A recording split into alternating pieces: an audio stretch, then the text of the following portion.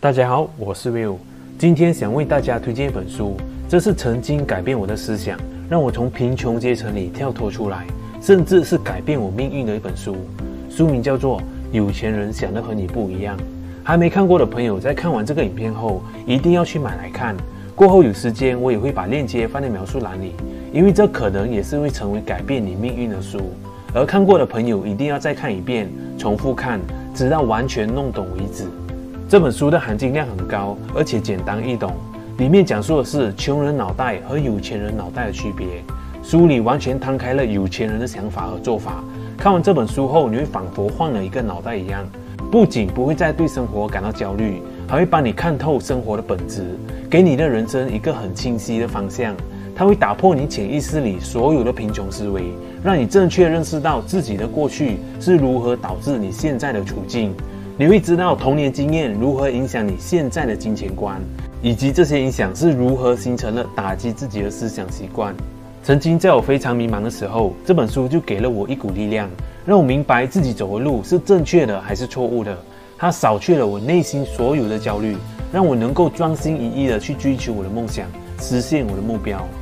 如果你是第一次来到这个频道，欢迎你订阅我们，并打开旁边的小铃铛。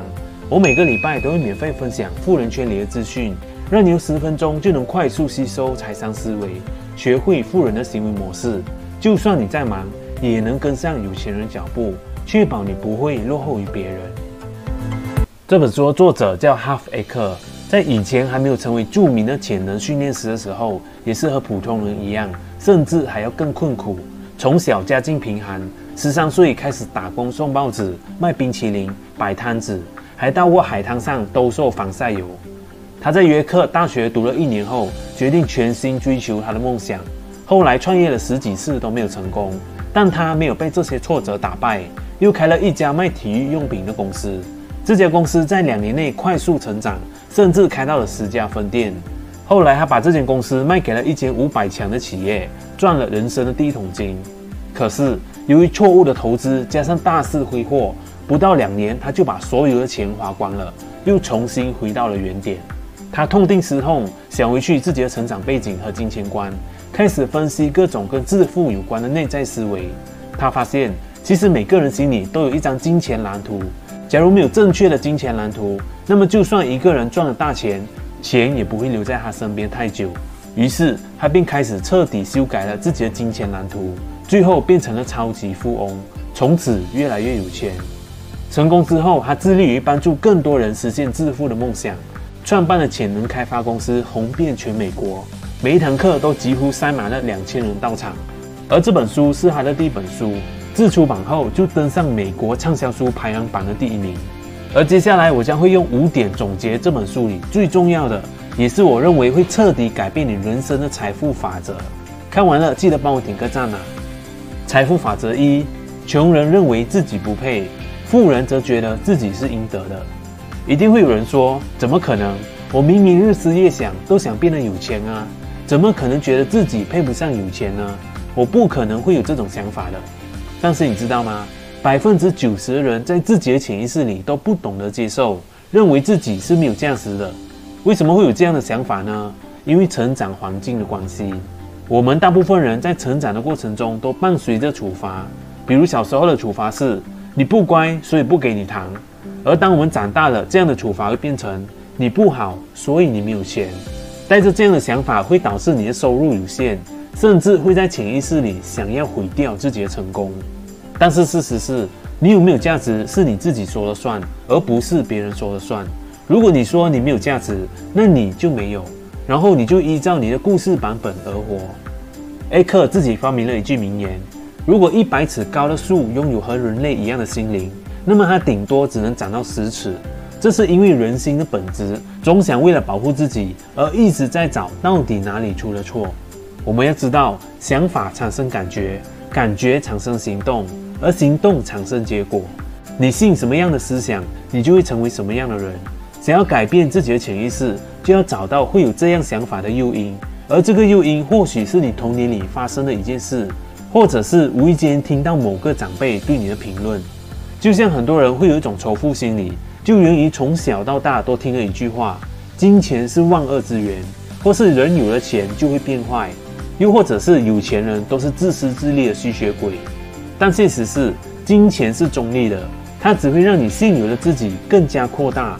你坏，有钱了就可以用钱去做更多坏事；你是善良了，有钱了就能用这些钱去帮助更多人，也更有效率。所以这里得出一个结论：金钱是没有善恶之分的。金钱是因为被人驾驭了，才看起来很邪恶。相反，金钱被善良的人驾驭了，却可以发挥出百分之两百的价值，能帮助人的效率也更高。所以，要摆脱这种仇富心理，要摆脱贫穷，就要找出你的诱因。而这个诱因很有可能就是你一直以来都存在，自己却察觉不到的潜意识。财富法则二：有钱人大于他们的问题，穷人小于他们的问题。假如人生分成十个等级，而你现在处在第二级，但你面对的是第五级的问题，这个时候你会把这个问题看成是大问题还是小问题呢？肯定是个大问题吧，因为对你来说，现在的你并没有准备好面对这么困难的事情。那么经过一段时间的努力，你现在是处在人生里的第九级，在你眼前呢是第五级的问题。请问现在你又觉得这是大问题还是小问题呢？答案是小问题。你甚至会觉得这根本不是问题，因为在现阶段的你已经面对过人生无数的困境了。你的脑子里认为第五级的问题只是你每天都要处理的家常便饭。问题的本质根本就不在于它是第几级，而是在于你是属于第几级。如果你的生活里出现了一个大问题，这只说明了一件事：你很小。所以千万别被外面世界的表象骗了，因为你的外在世界只是你自己内在世界的反应罢了。如果你想要彻底改变你的生活，就不要专注于问题有多大，而是开始专注于你自己有多大。成功的秘诀就在于不要逃避任何的问题，不要在任何问题面前退缩，想办法让自己成长，那自己就能大于一切问题了。财富法则三：有钱人根据结果拿酬劳，穷人根据时间拿酬劳。相信你一定听过这类的话：去上学，考好成绩。找个好工作，准时上班，领一份稳定的薪水，那你就会幸福快乐。可现实是，能让你幸福快乐的，并不是稳定的薪水，因为我们都可以根据自己的经验和身边所有人的经验做判断。稳定薪水的人往往都不会太有钱。稳定的薪水并没有什么不对，追求稳定也很好。但如果它阻碍了你自己的能力赚取你原本值得的金钱，那你可能就要深思了。穷人喜欢拿固定的薪资，他们希望知道每个月在固定的时间有一笔固定的收入会进账，借此得到安全感。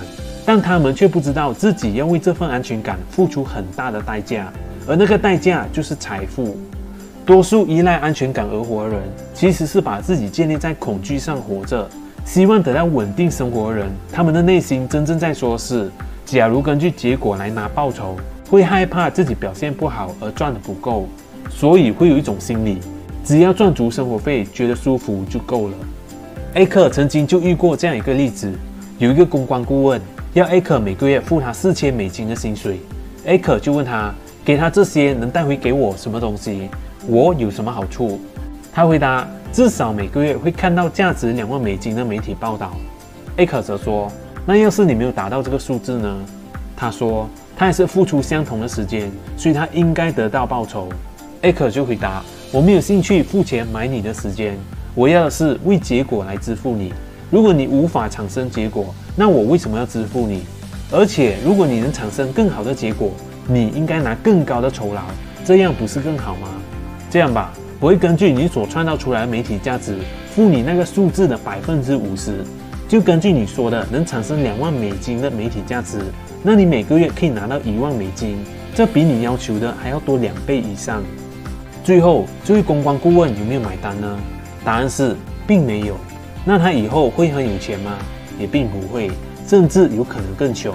其实，想要赚大钱，就要根据自己创造出来结果去收获酬劳。因为根据时间去获取报酬的话，有一个大问题，就是每个人的时间都是有限的。有钱人喜欢根据自己生产出的结果来获取报酬，喜欢从公司利润中赚得自己的收入。他们喜欢的酬劳是以获利百分比计算的，比如说销售分成。有钱人相信自己的价值，也相信自己有能力发挥价值，而穷人不是这样，所以穷人喜欢的是保证书，希望这保证书能带给他们足够多的安全感。财富法则是：有钱人专注于进攻，穷人专注于防守。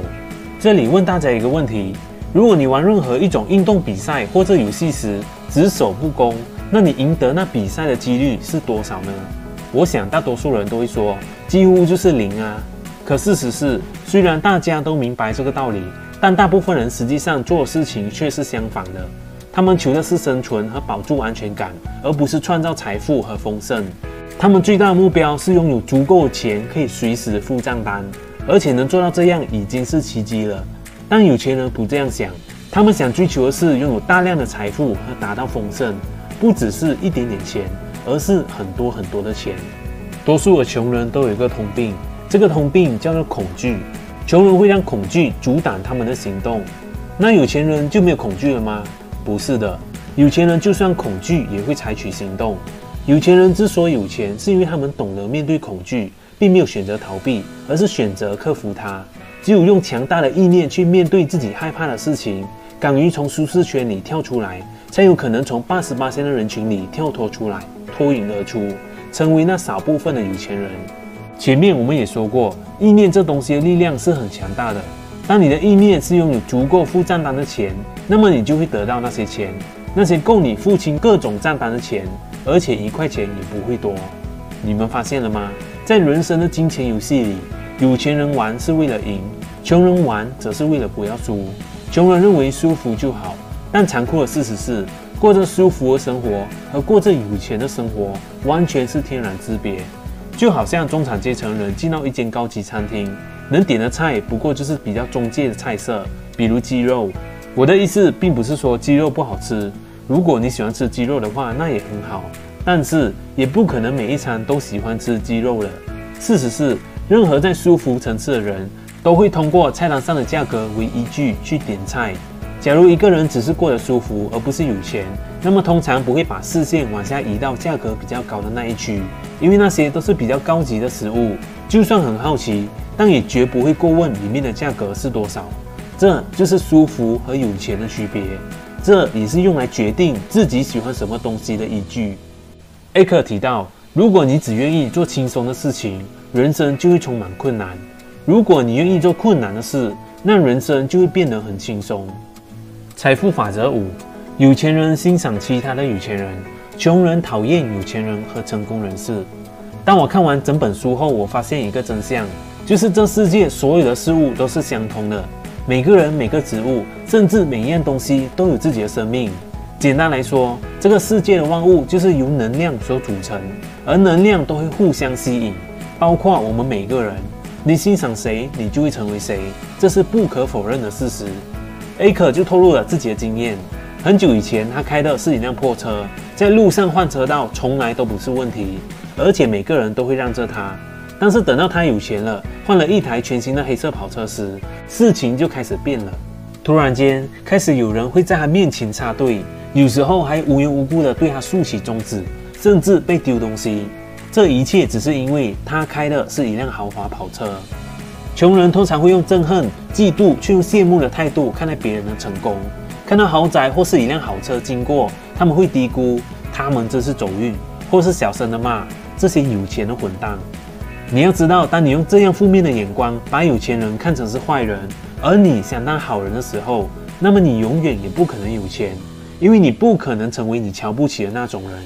因此，想要成功，就要懂得欣赏其他成功的人。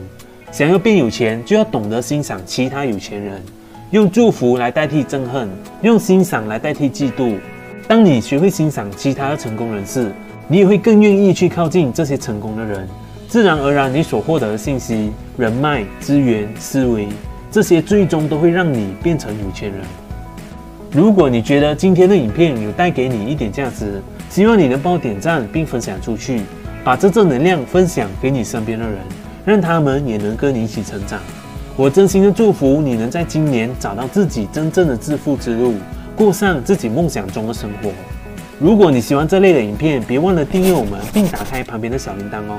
因为我们创建这个频道的目的，就是希望可以通过分享高价值内容，帮助在看这个影片的你打开格局，打破贫穷思维，甚至可以成为百万、千万富翁，成为富人俱乐部里的一份子。好了，今天的影片就到这里，感谢您的观看，我是 Will，富人俱乐部，我们下个礼拜见。